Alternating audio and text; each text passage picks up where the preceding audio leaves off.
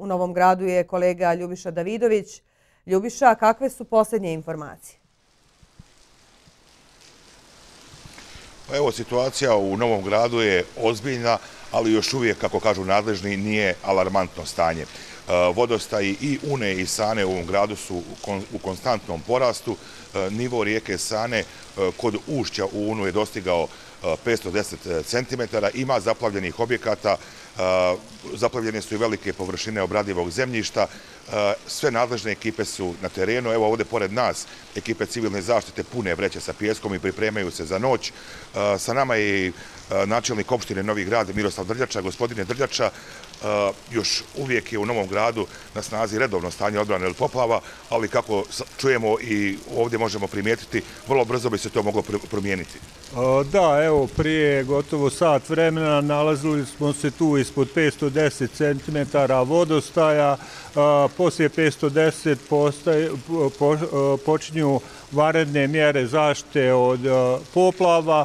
Ono što je nama jako važno da održimo prije svega e, zaštitu samoga grada, Evo sad trenutno radimo na tome da vrećama popunimo sve otvore na našem keju koji bi mogli na neki način da ugroze sam grad, odnosno sa porastom samog vodostaja e, da voda uđe u grad. Ono što je nama jako važno e, da nam kvalitetno radi prepupna stanica grad, to se radi u sistemu koji se bori protiv podzemnih voda, voda, već sada je lako vidljivo da je nivo e, prvenstveno rijeke Une viši nego što je samo zemljište u gradu i vjerujemo da ćemo sa kvalitetnim radom samoga sistema i popunjavanjem ovih otvora e, zaštiti grad. Ono što se e, pojavljuje u ovome danu to je jedna veća navala podzemnih voda. Imamo situaciju da nam se pojavljuju odroni, evo već 11 odrona i imamo povećanje iz e, sata u sat.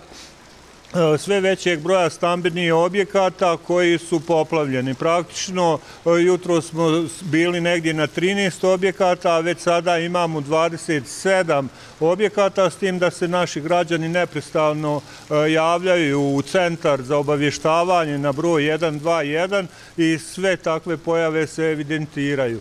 Ono što ne možemo pretpostaviti to je koliko će voda narasti ovdje na području Novog grada. Vidjeli smo da evo za posljednja 24 sata to je bilo 35 cm. Ukoliko bi toliko voda i tokom noći i sutrašnjeg dana narasla, mislim da bi bili zaista u ozbiljnom problemu.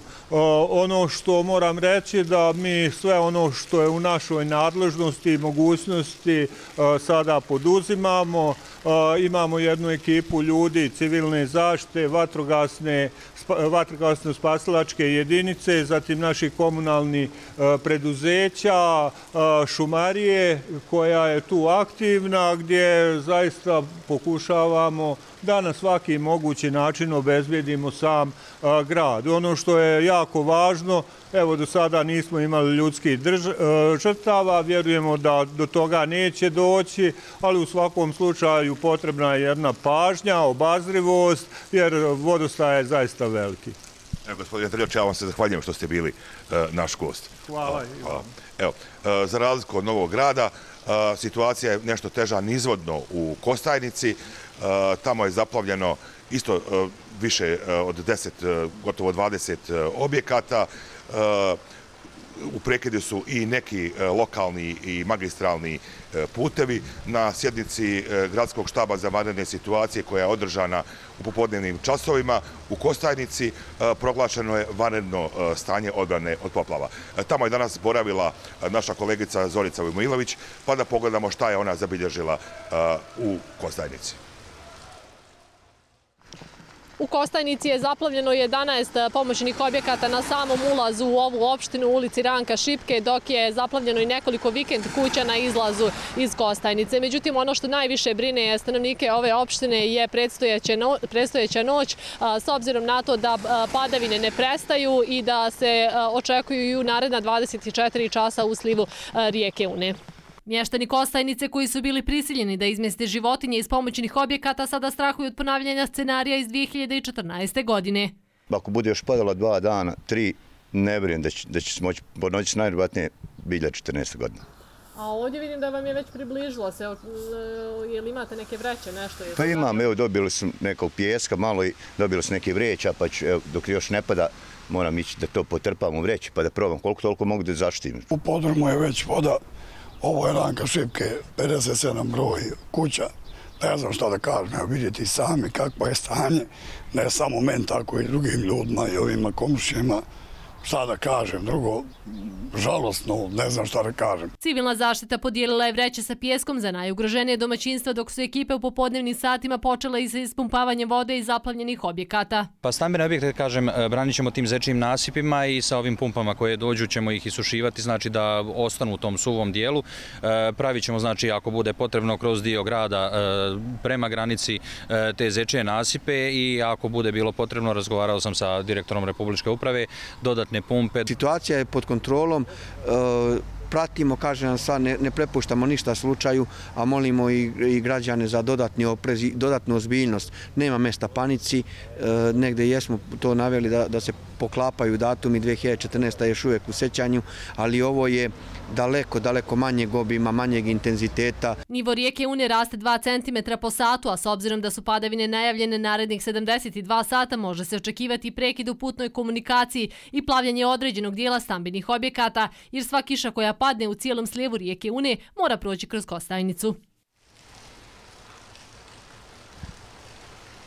E, vanredno stanje odbrane od poplava proglašeno i u Kozarskoj Dubici, e, gdje je nivo e, rijeke Une dostigao 432 cm, odnosno onu dostigao je onu kvotu kada se proglašava ova mjera.